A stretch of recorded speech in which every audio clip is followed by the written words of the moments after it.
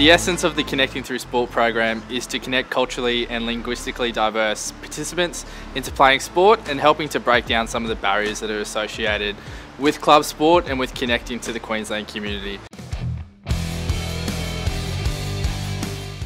The idea of the program is to not only get refugees, migrants, international students or women into community sport, but also make more inclusive clubs.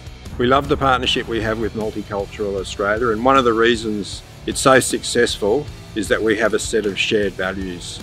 We both want to be connected to the communities that we're part of.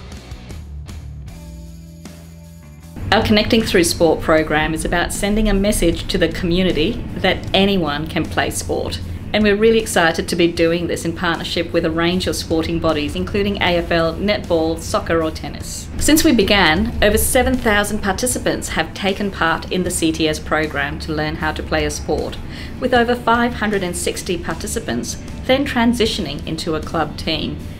We've also been working with community clubs to develop their cultural awareness training capacity and a diversity inclusion action plan, which is very ably supported by Welcoming Australia.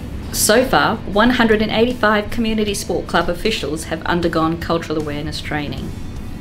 Whether it is AFL, netball, football, or tennis, and regardless of who you are or your skill level, it is all about having a go and making new friends.